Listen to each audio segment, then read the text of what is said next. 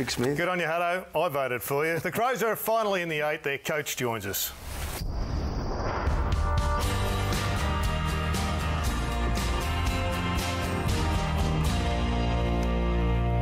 Hello and welcome again to On the Couch following round 18, part two, and the very big news.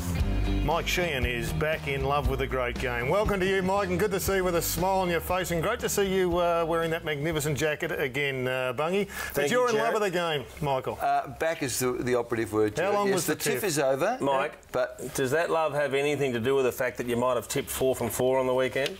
well, thank you for noticing, Jason. I didn't want to bring it up. no, I was at the footy Saturday night. I, I must admit, I got so comfortable watching the footy on telly, I'd forgotten how good it was to be at a big game at the ground, and that was the Hawthorn Swans game, and I loved it. Any particular player take your fancy? Uh, we'll get to him, Jared. The little bloke, the Hawthorn number 28. No, bloke called uh, Tommy Rock. Oh, across the board. Tommy Rockliff. Look, I might be late with this, but he's now among the elite midfielders. He mightn't look as good as some, mightn't be as smooth, but his effect is equal to Selwood and Pendlebury and all the other greats of the midfield. Yeah, you've been a bit he'll, be the on it, next, but- he'll be the next Brisbane captain too. You harassed me about four weeks ago when I suggested the same thing. Was that you who said that? your memory is worse than mine. What took your fancy, Jason? Uh, look, I think it's already been shown a lot, but I want to talk about the shot for goal that James Podsiadly had. Um, there's a couple of things that are horribly wrong with this. The fact is that, look, and, and the five metre rule worries me. He's had to walk a couple of metres to the right to give himself a little bit of clearance, but let's forget the five metre rule for the moment. Two things that horribly stand out for that. The first one is why wouldn't you kick a drop punt? Yeah. Given you're a left footer, mm-hmm. so it's the perfect side for a left footer, you've got at least a 45 degree angle. Why not do that? But also, if you're going to kick it around the corner, here's where I reckon they've got it wrong. You know how they decided to start turning side on to start with? Mm. Letting everybody know. They're letting everybody know that as soon as you move, that's where you'll be moving from, that's where you'll be coming off your line. So they sit there like they're runners coming out of the blocks on the side Yep. to take in. They, they don't actually do it here because he shanks the. Why does he only out of the ball. take half a step though when he's uh, Eddie's doing the shepherding? Yep. He's got plenty of room. Because well, the umpire had to pull them back because they were about a metre and a half away from him when they initially No, initially that's not set true. up. Everyone said that's not true. They were No, five metres away. when they initially set up before the umpire dragged them away. Is Eddie And allowed then- to shepherd? Are you allowed to do that? Well, they, he can stand where they can doing stand. That's Yeah. okay. But the point, the, the, the point is, if you go back, even if you want to run out and kick it around the corner, go back 20 metres like a mm. normal drop punt run up. You then get to choose at what point you're going to Mm-hmm. come out. Makes it a lot more difficult for those blokes on the side to actually be there to smother it, and you'll probably be able to kick it off more than half a step. But initially, a drop punt would have been nice. Will he do it next time he gets the opportunity? And I know you'll drag it out with uh, Brenton Sanderson Yes, later. I will. I will. and I tell you what, he wouldn't want to miss another one because that could have been critical. Tell you what got me ex- excited was just uh, the big game on Saturday night, which opened up the premiership race. The Hawks uh, were well and truly unders for a period of time, but they found another leg. And uh, you have a look at this magnificent uh, race for the top four spots. It's alive and well, and you've also got a significant race uh, still trying to get into the eight. Collingwood now outside for the first time this year. Adelaide inside for the first time. But just imagine, Mike, if the finals were played today. Next weekend, yeah. You'd have Sydney v Freo. You'd have Hawthorn v Geelong. Port Adelaide v Adelaide. What a game Wow. that would Yeah. be. And uh, North Melbourne versus Well, the I reckon as a neutral observer, we'd be very happy for the latter to finish like that, wouldn't we? It Yeah, would be yeah. outstanding. But that, that battle for the eight, teams are dropping out rather than going in, Jared. Collingwood and the Gold Coast have forfeited their chances of playing finals. I don't think the Pies are absolutely out of it uh, just yet, Mike. They're on uh, even terms with the likes of uh, Adelaide and the Bombers, but uh, clearly their form has dropped. But on the weekend, they showed some signs. I know they lost, and I know Adelaide hit the post five times, but they showed a lot of signs to drag themselves back in. They were better, but they came off a low base. Their previous performance was pathetic. I'm not with you on the Pies. I, I don't think they've got an alibi. They were 8-3, Jason, Yep. early in the year. They've lost one. They've won one out of the last five. Six, one of the last six. One of, one of the last six. They're one and five from the last six. Now that's not good enough, is it? If you if you've got finals pretensions, you can't have that sort of record going into the, the latter part of the season. For the No, last six weeks, that. that's not good. And No, that's it's why they're out. But they've also had some issues. They've had Dane Swan, who hasn't had a kick basically all year. Nick Maxwell has been uh, injured and retired after starting the season. Fantastic. But they haven't had their forward line at all together. This season with Reid well, coming missed a bit and Reid's been injured, but Clokey's been there. Clokey hasn't had the season that he would have liked. Yeah, but this is a club I think that made a decision to go backwards, to go forwards, and I think, despite the fact they would like to play finals footy, I think they're on track. I think their list is looking really healthy. We still haven't seen uh, Freeman and Scharenberg uh, picks three and four, I think, uh, in the draft or thereabouts. They're well suited or well placed, I think, to have a crack Okay. at the flag rounds about Okay, 16, look, 17, 18. Jason, take Scotty Pendlebury out. Yep. Who have been their good players? Now, they should jump out at us. They It- it- should. We should be I able think to Dane say... Beams has had a good year. He's had a, a good year, but he's a, he's a star player. I don't Yep. think he's been played to the level that he, that he could. Sidebottom had the interruption with the suspension, Mm. but he hasn't had the impact that we expected. Cloke hasn't done it. I'm not with you on that. I don't know why you've got the rose-coloured glasses on about Collingwood. Well, I just look forward. I'm not sure, I'm not uh, too worried about this year. I think Gary Pert and perhaps Bucks, who's a half, glass, uh, sorry, a glass half full man, was looking through uh, rose-coloured glasses. But uh, for mine, I think they're exactly where they should be, and that is fighting for a spot in the eight with a view to winning flags in 16, 17, and 18. There's 16 Yeah, players. well, well, you've seen something I haven't seen. well, I've seen a lot of young players, and I've seen a lot of young talent coming through that list. There's 16 players missing from their uh, last premiership side, Mike, and I think that uh, we still believe that Bucks has got the full use of uh, a lot of these players. There is the 2010 premiership lineup, and uh, those in the dark are the ones that are missing. Big names, lots of them, and a number of them shunted out at the end of the year. It's a big reminder of the turnover in league football, isn't it? It That's is. only in a four-year period. But uh, and I guess that's further to Jared's point. If you can regenerate that list after winning a premiership just four years ago and put yourself in a position where you think, Jared, in a couple of years' time they're good to go again, that's pretty clever. Do you share that view? I'm, I'm perhaps not quite as bullish as Jared. I don't think there's uh, massive issues at Collingwood. I, th- I think they're going to be thereabouts. Would they be in my first couple of selections to, to win a flag in the next couple of years? Perhaps not. Let's take a look at their side in 2016. Bear in mind that the majority of players are playing their best footy between 25 and 30 years of age. You've got Marley Williams still there at 23.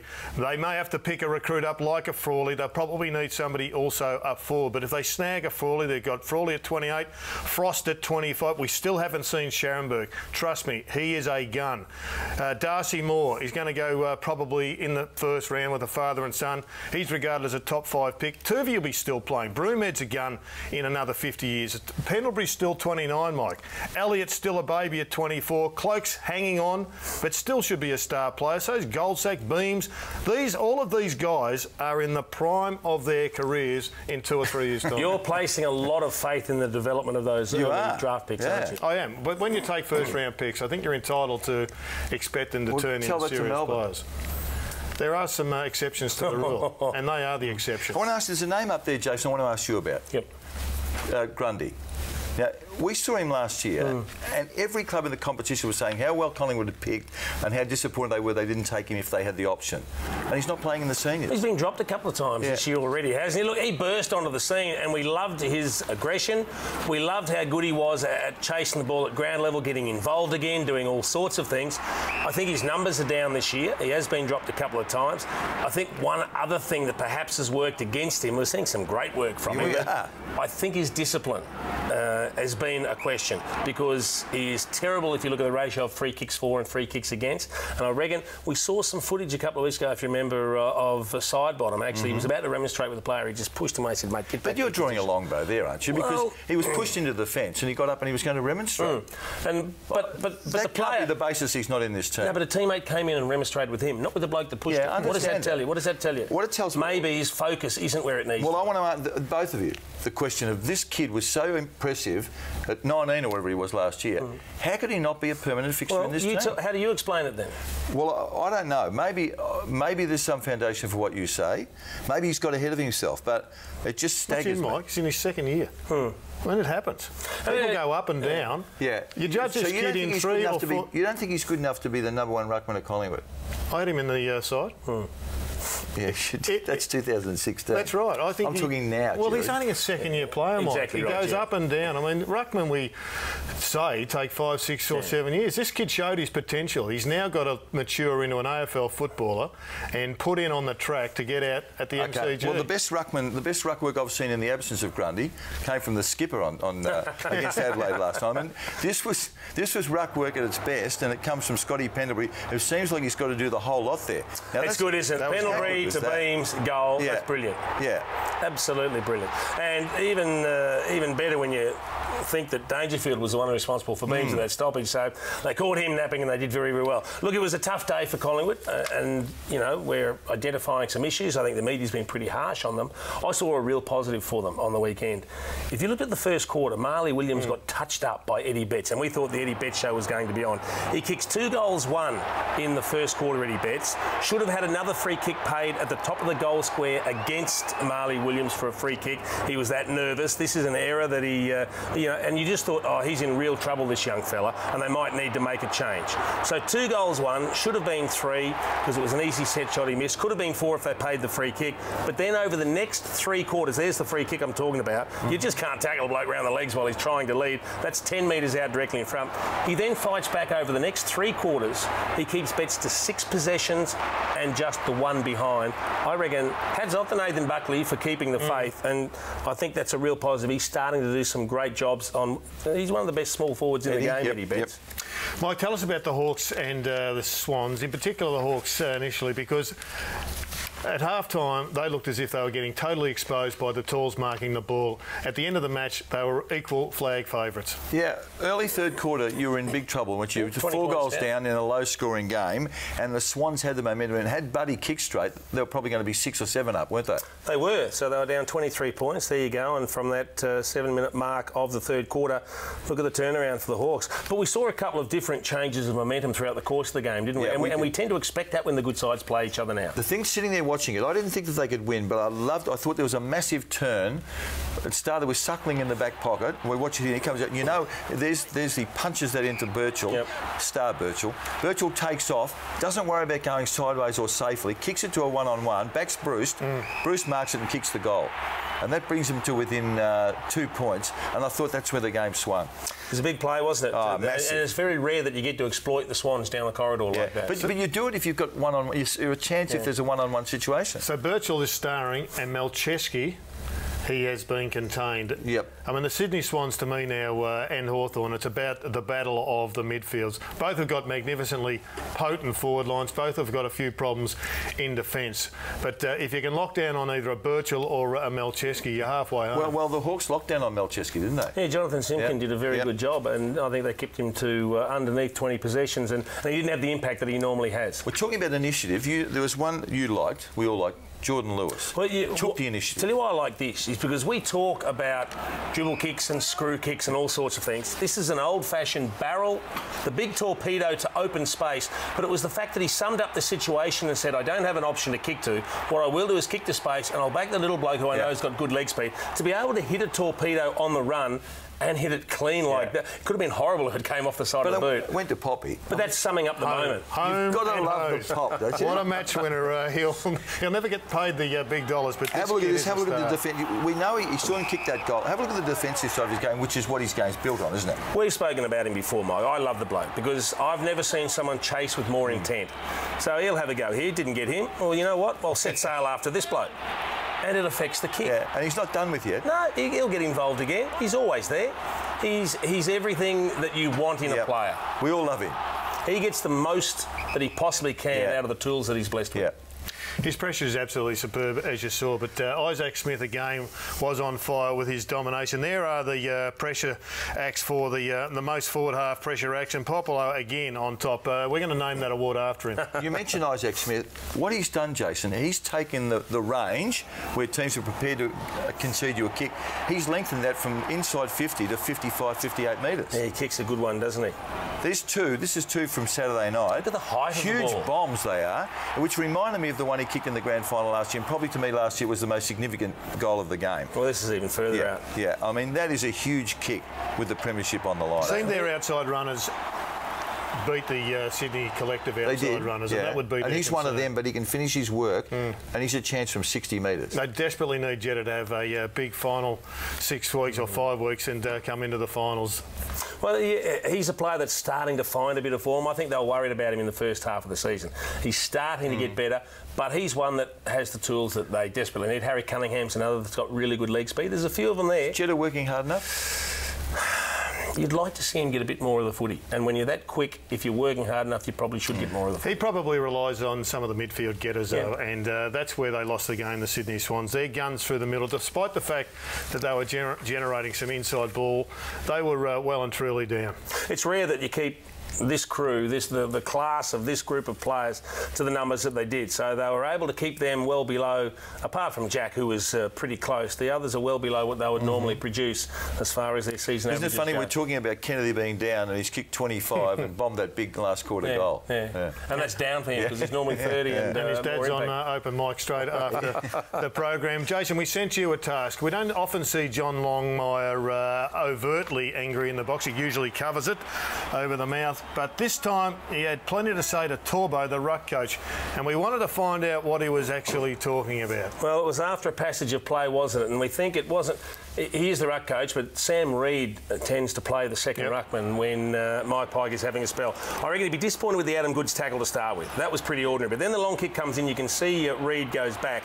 He's the loose tall that's yeah. back there that doesn't get back hard enough. Teddy Richards probably lost contact with his man as well. And, and Roughead in traffic comes out and takes the chest mark. He might have just, he needed to let steam off. I think he was disappointed with the passage of play. Torbo, you're my man. I'll take it out on you. He's used to copying it Torbo. He's everybody's punching bag. Buddy and Tippett looked uh, fantastic, with the exception of Buddy's conversion. For the second time against the Hawks this year, isn't it, that he's been wayward? That's five Jeez, he was- in two games Yeah, he was them, yeah. hot early though, wasn't he? Like he, I looked at him and thought, this is the best player in the competition in this form. And that was what the, about when they combine like this? Yep. So a contested ball on the wing where he pushes Gibson away and then kicks it to Tippett who takes a contested mark. Tippett's a brute, but when you've got a bloke with that size and strength that can move like that, he's going to be an incredible weapon. The two of them together, if they keep them healthy and on track, it's going to be big. Does Brian Lake uh, minimise the damage there? Because he's still Yeah, he minuscule compared to Tippett. Now, he plays tall blokes well, doesn't he? Yeah, He does. Tippett He's got a may be history just of even doing that. more difficult Yeah. than that. Well, what about the uh, the booing for Buddy? Given what he's given to the Hawks, is it all? It's no surprise though, is there? Is there Gary ever a Ablett player? never got booed. Gary Ablett never got booed when he went back to Geelong. You went to the first game. Yeah, not one boo. You did a lap of the ground, didn't I hear did. one boo. Yeah, I had my hearing up, had the, the aids on. Look, I, I think Buddy would have expected a few boos. I mean, that's that seems to be normal these days. I want to show you a photo. There, Colleen Petch is a star. Uh, the two great photographers, Wayne Ludbey on the band and Colleen Petch, take, Petch taking out one of the dollar bag behind Buddy. That is a great photo. What, was Wayne, what was Wayne Ludbey uh, taking? I don't know where photo he was of? headed with, with his lens there, Jared. Are you worried about uh, Buddy changing your manager? You know Buddy better than anybody in this uh, house. Are you That's not very well. That's not very well. Look, he's made a decision for what he thinks is best. I think for himself off field up in the Sydney market. That's. But what do you know? He asked you whether you worried about it for Buddy's benefit.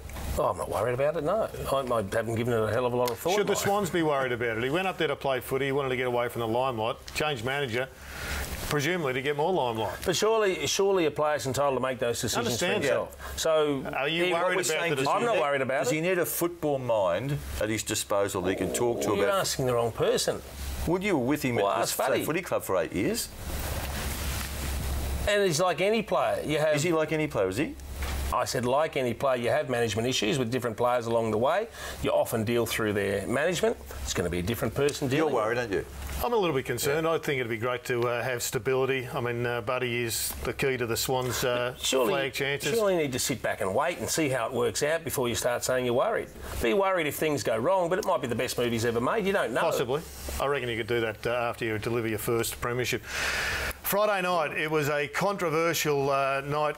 Ty Vick- Tyrone Vickery uh, t- found out today that he was heading straight to the tribunal. In many ways, Mike, it uh, reminded me of a throwback to a, a more violent era in the 70s and the 80s. 70s and 80s, and I'm not laughing at what we saw here, but this is what was.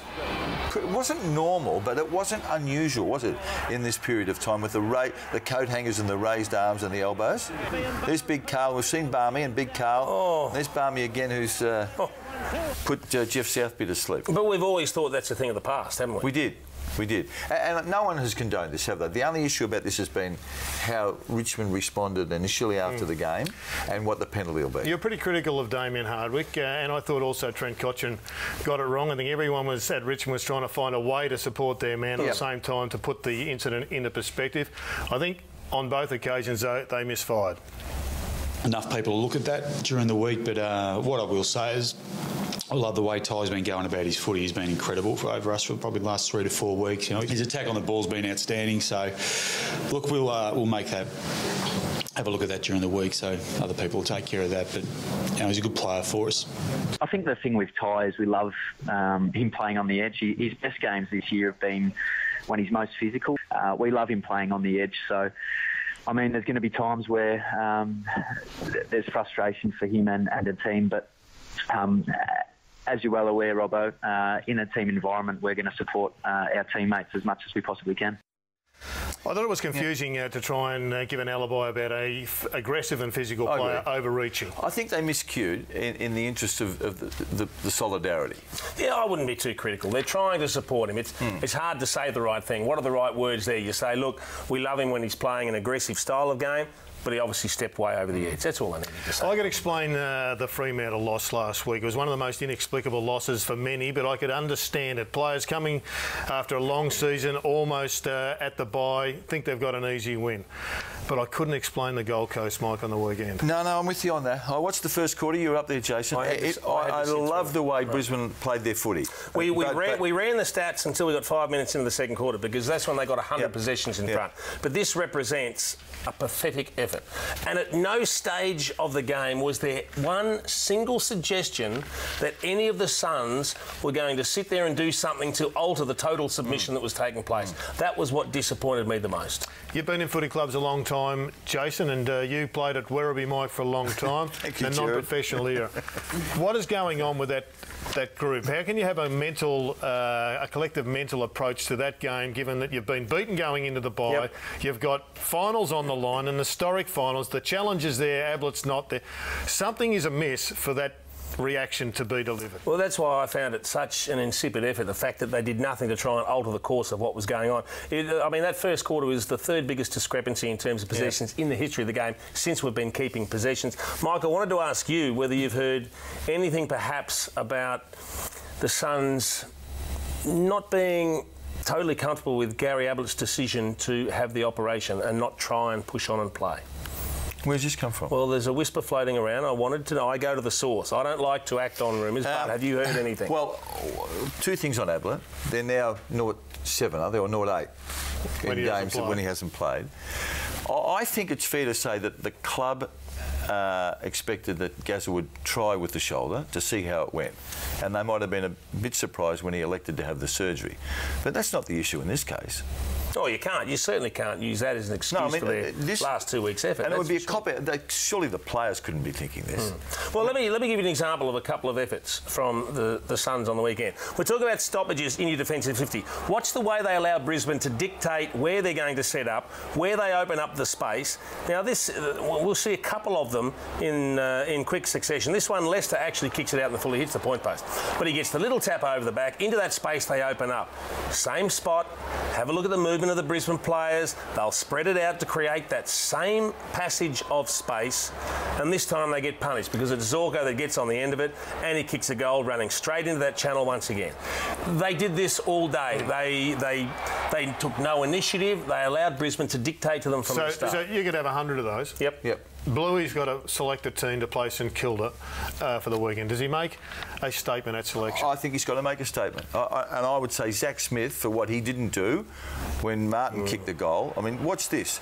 Green over the top to Martin. Look, now, I can't believe it. It's Zach- hard to explain that one. I wonder if he got disoriented and didn't see what actually happened with the footy because he Oh, almost puts his head down and stops. Well, there were that many goals kicked. He was probably heading back to the he, centre. he, he had stopped and the head went down. I don't know if he even saw the ball coming up. It's hard to explain and that. Harley Bennell, who in my view is the second most talented player in that group, hmm.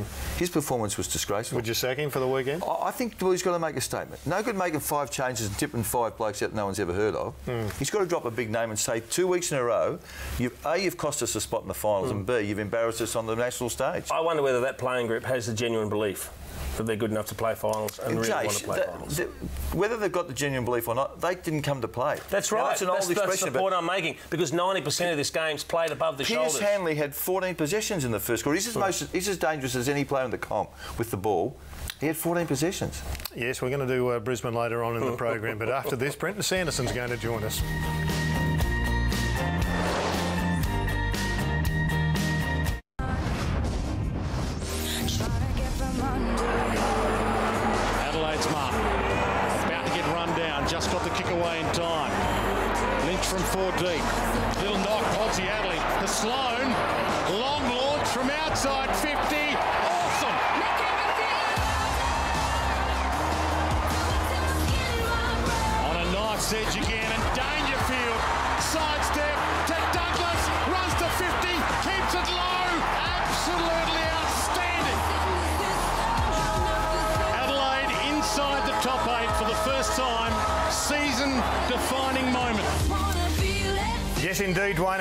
Match at the MCG, which saw the Crows, after so many weeks outside the eight, finally enter at the end of round 18, Part B. It was a rugged start after three consecutive losses, but the coach, Brenton Sanderson, who has stayed over, joins us on the couch. Uh, welcome, Brenton. Yeah, thanks, Stuart. Timing's been superb.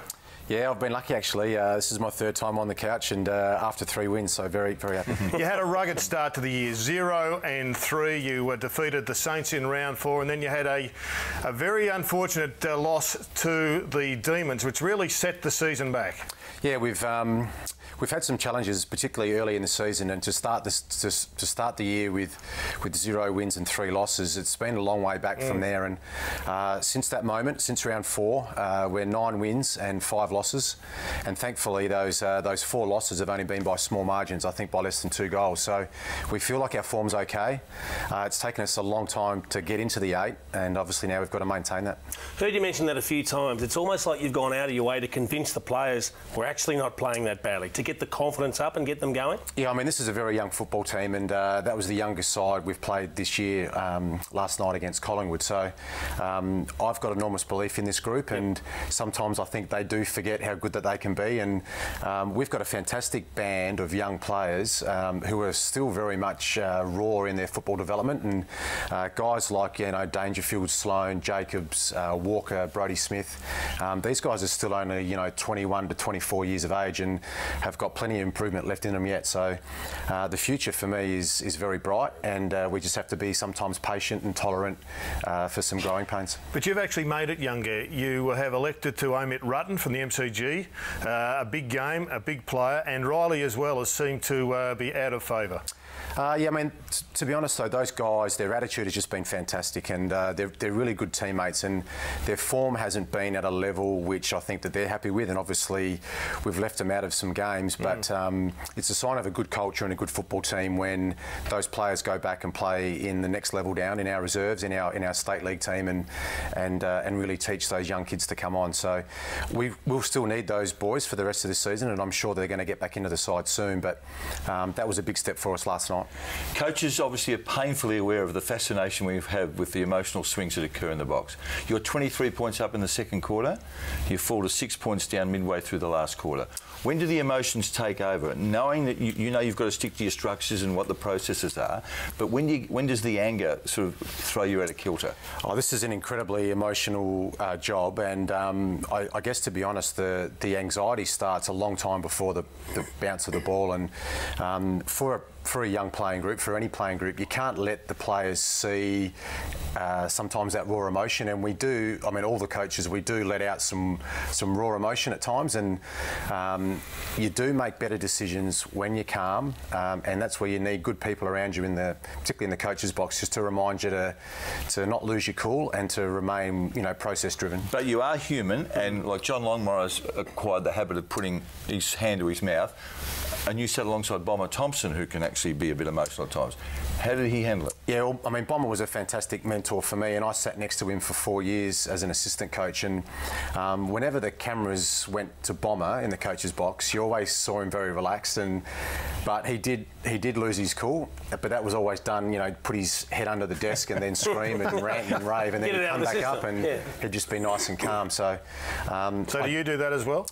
I haven't been as good at it this year. The, we've, we've had some challenges, and I do have to keep improving that uh, that element of the game. But we, we, know not just coaching. At any point, you do make better, clearer decisions when you are calm. And uh, but as Mike said, in that last quarter, when Collingwood hit the front, when Beams kicked that goal. Mm. Um, you can't help but just for a second think, uh, you know, we've got to hit the panic button here. But uh, thankfully, we've got some great young leaders on our on our team, and we're able to uh, to get to get back in front and stay there. Also, would have been a few things going through your head when Paddy Dangerfield went down late in the game, and uh, there was a shot of you sort of a little nervous, your fingers were twitching. Yeah.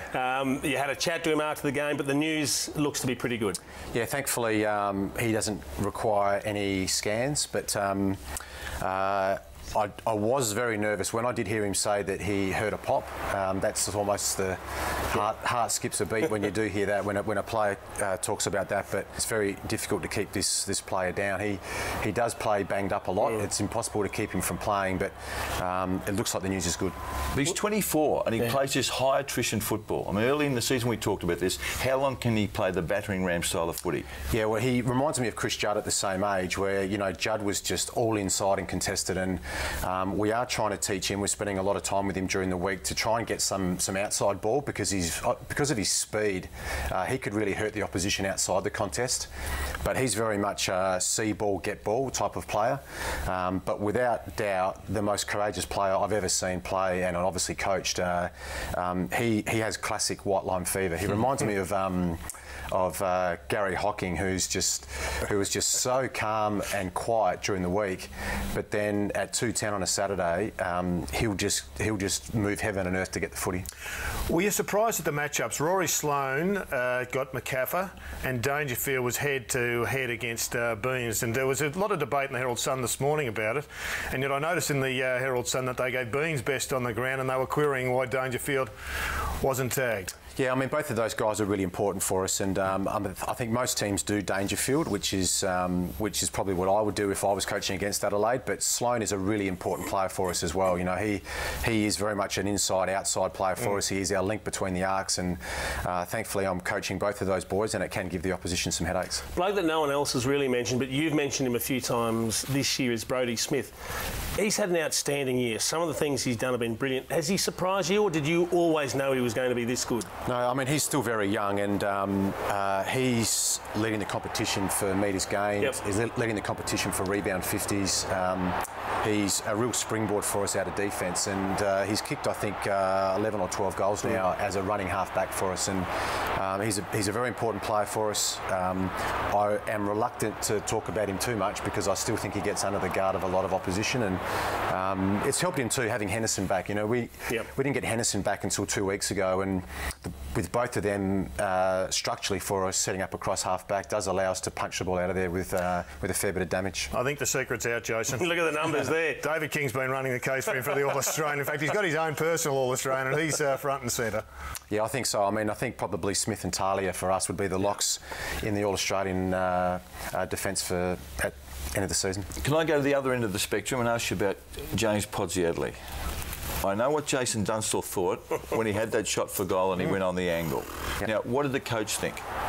Uh, my preference from that part of the ground would be to kick a drop punt, and uh, you can see from the vision here. I mean, he's he's not directly in front, but he's not far off directly in but front. He's a left footer. Uh, yeah. yeah, that's right. That's yeah. right. I mean, I think I think Steve Johnson is to blame for all this. You know, that's um, it's it's it's quickly become uh, uh, the norm for a lot of. But that's funny for you to laugh with him there. If you'd lost the game by a kick, would you have been laughing with him? Uh, I mean, I, I see those guys nail them every day at training, and they do spend hours and hours on their technique, and that's obviously what James feels feels comfortable doing. Do they spend um, enough time on their drop punts? um, maybe they should sp- spend more. I mean, I, I, ultimately, I think a player has to do what he feels comfortable yeah. in doing. But um, but that one for me should have been a drop punt. I mean, uh, the reason I was laughing with pods too. I mean, that that's one of the great stories uh, in the modern game. I mean, mm-hmm. yep. the James Pods Podsiadly story of being overlooked for ten drafts, uh, to make his debut as a 28-year-old and to win a premiership and play 100 uh, AFL games. He was really emotional after that game. I mean, that's a fantastic achievement and um, and one that I'm I'm really proud of. Yeah. It's a great story. Uh, the Crows style at the present time, it's uh, very exciting, but but at times it borders on overuse of the footy. Where do you get the balance right? Yeah, it's it's it's the element of coaching, I guess. I, I, I do like to take the game on. We like to put speed on the game. I think what we've found the last couple of weeks in particular is we have overused the handball. There's been some opportunities when we've been out and we should have kicked, and we've just handballed once too many. Yep. And particularly with, I think we've got some targets ahead of the ball. Uh, we should be looking to, you know, attack the last line of the opposition's defence. And uh, I know it's frustrating for our fans because we uh, we have turned the ball over a lot this year, uh, and it's come from just those one extra handballs. Yeah, we saw that uh, in the, even in the highlight in the opener. Uh, long kick into a contest. Uh, Pods taps it out to Sloane. Sloane goals. You, you don't seem to be backing in your tall forwards uh, enough to justify having four of them down there. Yeah, I agree. I mean, those guys have provided a fantastic target Yep. for us all year. Um, Jenkins, Podsy, Adley, Walker, and even Lynch plays tall. So um, we shouldn't have any fear at taking the ball forward. When you sub right off, did you consider taking one of the tools off? Yeah, we did. Um, uh, it's it's always hard that sub Yeah. that sub one, and we do spend. I think we do waste a lot of energy talking about who we should sub off. Um, I would have preferred just to keep rolling, but you have got a fresh player there, and you have to use him. But it was a healthy debate in the coaches' box whether it was a tall or whether it was right. Coaches don't like the sub. You were at a uh, dinner at Gillon McLachlan's house a couple of weeks ago. I guess the sub got a fair run. Yeah, it did amongst uh, a, a lot of subjects, and um, to Gil's credit and the AFL's credit, uh, Gil was really receptive to to listening to the coaches and the clubs, and uh, you know Mike Fitzpatrick and also Mark Evans were there as well, and uh, it was a fantastic night actually. We sat around for sort of four or five hours with um, I think there was 11 senior coaches there, and um, Gil was great, and uh, to his credit, he listened, and um, and hopefully we can see some changes, which I think we need to that need that need to be made. Are you suggesting a little more receptive than his predecessor to perhaps the coach's input? Uh, maybe, maybe, yeah. But uh, you know, we talked about a lot of things about you know the holding the ball rule and the sub rule rotations, and um, I think we know. I mean, we, we, we do know we've got a great game, Yeah. and we do need to make a couple of little adjustments just to make sure that it remains great. A couple of personal ones before you go. Nathan Buckley's a very good friend of yours. Any dialogue pre-game, and have you spoken to him it in a debriefing sense? Um, no, not much pre-game. I mean, the schedules are so busy, but um, uh, we caught up uh, last night after the game, and um, I mean, Bucks is a quality person, as you know, and uh, the Collingwood coaching position is heavily scrutinised, as are most most coaching roles. But um, he'll be fine. They've got a they've got a great football club, or he's got a great football club behind him. Uh, they've got some challenges with some injuries as well, but um, they've got plenty of fight left in them, I'm sure. And the other one, Dean Bailey, you were close in terms of professional and personally. What sort of impact did that have on the club? It's really hard to read, to be honest, because um, I mean, Dean lost his battle with cancer only a week before the season started, and it was just so fast. You know, he got diagnosed uh, only three months earlier, and um, we didn't start the season well. And it's sort of hard to gauge how it affected me, how it affected the other assistant coaches, and also to the playing group. But um, we've had some challenges this year, um, and thankfully our young groups uh, um, fought them all head on. Nathan Van Berlo still out, your uh, captain. When Sloane and Paddy Dangerfield are both available to be captain, will you toss the coin? Will you uh, just go with the co-captains because they are two mighty even players? Yeah, it's something I think we'll have to debate. I mean, this is uh, to co- uh, to captain the Adelaide Football Club is a is a really big job. I mean, we have a lot of commitments outside of just playing that uh, that, that guys have to meet, and uh, the co-captains has worked for us this year. I think both of those boys um, have been fantastic. They're both only 24 years of age, and um, Nathan Van Berlo is our captain, uh, but probably won't play uh, a huge on-field role this year. He's he's probably with with five games to go. He's probably five games away from playing. So. Um, we'll have a look at that at the end of the season and I guess make a decision about what we do going forward. Five games to go. You've got the Eagles uh, at the Adelaide Oval on the weekend. You've got a uh, challenging run home, but a, uh, a run home that suggests you should make the finals uh, if you produce your best. Good luck. Thanks for coming in after round 18, part B. Yeah, my pleasure. Thanks, guys. Brenton Sanderson, our special guest on the couch. More to come straight after this.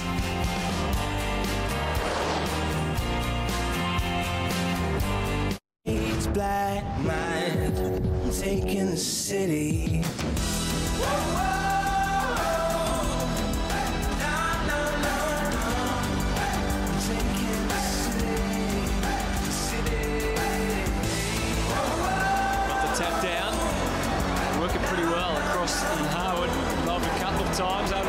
Green. Taking the art. Gets inside 50. That's as good as he's ever done in a match. A few headaches in that box right there. Maguire's given it plenty. It is a massive launch. And it comes back for a goal. In the space of 20, 25 minutes, we could very well be seeing Gold Coast chances of playing finals in 2014 going down the gurgler.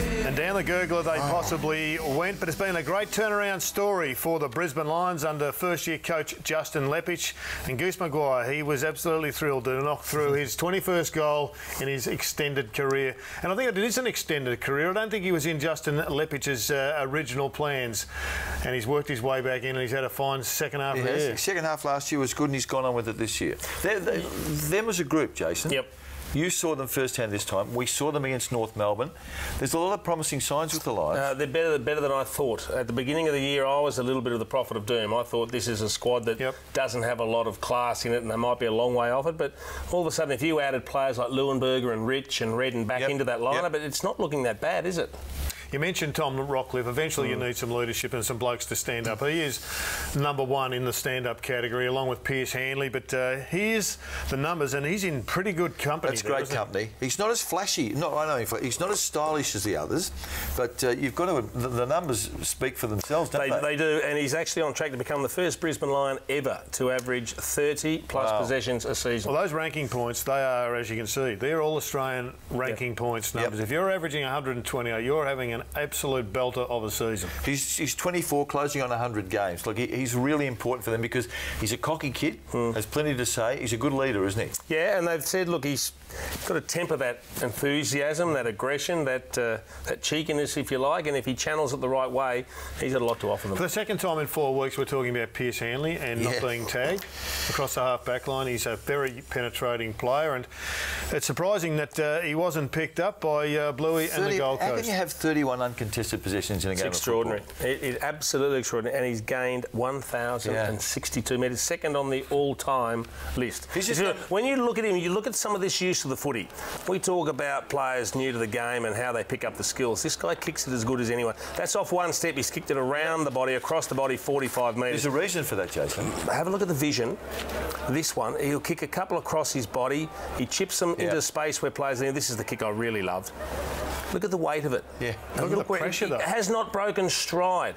Well, that's that's an issue too in itself. This one here, he finishes off. He was involved three times in the build-up to that. He's a that natural athlete who's been taught from a blank canvas. Yeah. So he doesn't have any bad habits as a four, five, six year old. He starts from. Same as Tadhg Kennelly. And I, I was a huge Kennelly fan. I think Hanley's as good as Kennelly. Can be better. Stef Martin's one of the stories, uh, and he's had a lot of press. He's done this before in about a 10 game period for Melbourne where there was injuries and he was thrown into the ruck. They tried to make him into a key position player. He is flying at the present time. The question is, when Leuenberger comes back, what does Justin Leppitsch do to not kill this bloke's career? You think he's a natural ruckman, don't you? He is absolutely a ruckman. I've Yeah. seen him play at centre half forward and full forward. He can pinch hit there, but he can't dominate there. Can Leuenberger play permanent forward as the relief ruckman? I don't know. Can maybe it's a, a 60-40 or a 50-50 split in the ruck and forward, perhaps, to try and get the best out of Stefan Martin. But you certainly don't want to compromise what Lewis Can he play ruck rover, do you think? Then you're talking about it at the expense of a Hanley or a Rockliff or these sort of players. I don't think you can do that. Let's move on to the Tigers uh, from a positive sense. Fourth win in a row. They've turned it around. The question's going to be if they finish just outside the eight, Mike, and their mathematical chance of finishing just inside the eight, but mathematical only. Will it be fool's gold or not? No, I think not. I think that they were complacent early in the season, off the back of last year's 15 and a half wins. But their last four have been good. I think they've now got their heads in the right spot. Is it plausible that they could uh, make the eight? Well, I as reckon they've got three it's, more it's wins. mathematically possible. I can't see it No, there's a- there's a difference, possible and plausible. I- They win three of the last five, and the- in the form that they're they're growing into, they could win five. Yeah, but well, it's a big ask. And then So you don't see them as credible in, in terms of a finalist. playing the eight this year, no. The issue of fool's gold, I think, was addressed uh, by Ivan Maric. You spoke to him on 3AW, and I think what he says uh, suggests that there may be some positives uh, to come out of this down season. Initially, I get really upset with the way the year's gone, but I feel like it's been so good for us to go through that because our training standards and standards around the footy club were, were so poor, and the attention to detail with all the, the little things were we're not up to the standard we set in a season before. It's a barefaced admission. It was really honest. But if they do learn from it and they up their ante as far as their preparation, well, maybe they can get something out of it. I think the playing group shares that view, which Mm. they need to, don't they? It shouldn't be just one man's opinion. No, I think they all have to buy in, but there's there's Yeah. some talent there. What about Anthony Miles? This kid that was uh, on the uh, GWS list finds himself at Richmond. He's one of those kids that can just find the footy. It seems to follow him around. I think one of these, what you, when you see sides uh, rise and become powers, they all have one thing in common. They find a rookie or Yeah. two to jump out of their skins and become A-grade players. And this kid's on the way. And you'll notice in these highlights, all the work he's doing, Mike, is in tight, is Mhm. inside. Yep. We've got some numbers here that suggest, have a look at these centre clearances we're talking about. When he's in there, look at the win percentage ratio. Yep. And when he's not in there, look at the losing percentage ratio and the differences that he makes when he's in and not in. Is that a bit of an indictment on the blokes that were there before? Well, perhaps, but it shows the quality that Anthony Miles Yeah. has brought um, inside to the uh, to the Tigers. and that enthusiasm and the energy around the footy is contagious, isn't Yeah. it? Yeah, he's, I I think he's been one of the finds of the season, no doubt. We'll move on to uh, one of the major issues of last week uh, to get your thoughts, Mike. James Hird was welcome back, and then he was told in no uncertain terms that he wasn't as welcome, and he was the subject of a discussion on SEN this morning in which Terry Wallace uh, made his thoughts well known. he's going to have to go back into that football club next year without having any real knowledge of what how they've performed, how all the departments have performed This year. This year, Yep. why wouldn't have they put him back in there for a month and allowed him just as a background person to be analysing how the strength and conditioning's working, to analyse how the, the doctors are working, to analyse how the, the box is working. Uh, It doesn't make any sense if he's going to be the coach next year, why he wouldn't be in an analytical position. Well, he's able to do the analysis, but he's not allowed to do it at the footy club. Mike, give us some sense in this. What's well, I- happened? well, I understand where Plough's coming from. If his suspension's completed, let me put in brackets here, the suspension should have been for the season and not till August 25. But given it'll be completed, he should be free to do what he wants, shouldn't he? I understand that, but the club has obviously elected him well, no- well, not club- to do that. So uh, only- what's changed? Only in the last few days. Yeah, the what's changed? Well, I think uh, I'm, uh, this is. Not, this is what I'm hearing. Now, I don't know this to be factually correct, but what I'm hearing is that Neil Craig doesn't think he should come back and he's the head of football. Yep.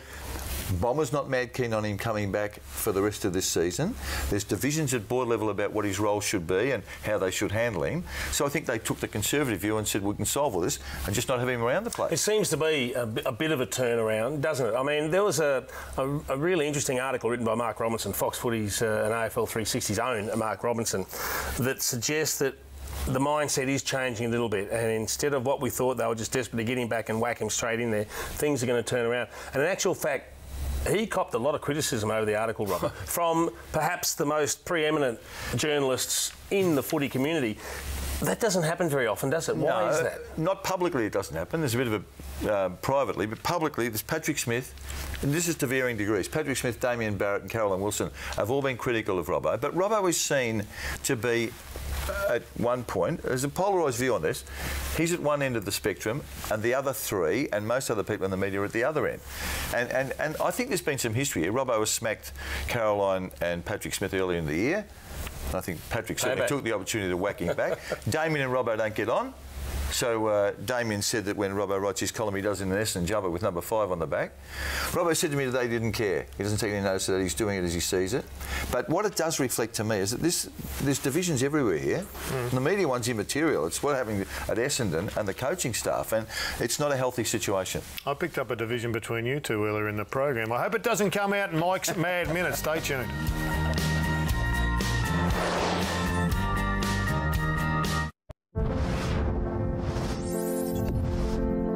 1983, Colin Robertson wins the Norm Smith.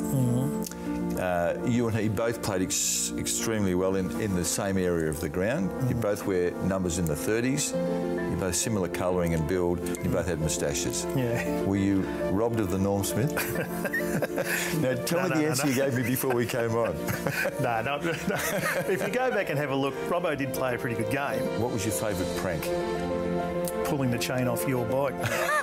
and seeing you spin around, spin your legs around, those little outside legs. the Sereno pub. the Sereno pub. Yeah. Who did this? I, I knew who did it. When I looked over the window and saw 30 blokes led by you laughing, I knew who did it.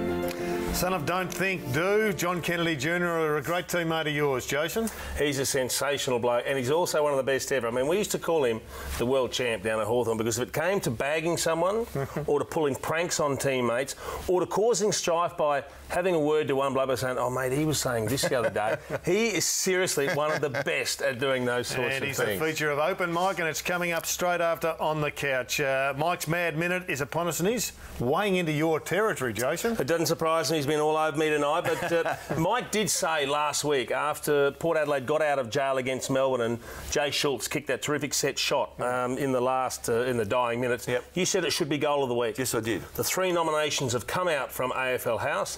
It's not amongst them. You're kidding. So this one from Cotchin. Oh, the fluke from Cotchin is, there. in? Oh, Well, okay. that's a great, great goal. H- How would he be if you asked him to repeat it with another 15 goes? Well, I didn't realise that's the qualifications for it. This one from uh, Stringer. Yeah, not Yep. a bad goal. Yep. And this one, have a look how many times he gets involved. So he picks it up, defensive side of the wing, hits Zorko with a beautiful pass. Now, you've got to remember where Pearce Hanley was. He's still running, still running, still running.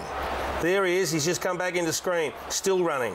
Continues on, still running. Gets on the end of it. Yeah, and it's a great goal. That is a great brilliant. goal. The subtle difference here, Jason, is you should remember Jay Schulz kicked the goal here against Melbourne that won the game and saved their season against the clock and had to be kicked to win the game. How many could have kicked it? What?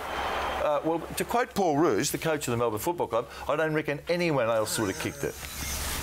And Roosie on the back of that has picked himself up an extension to his contract. Everyone's favourite player, Lenny Hayes, is our special guest next week. We'll see you then. Thank you, Jason and Mike, and thank you.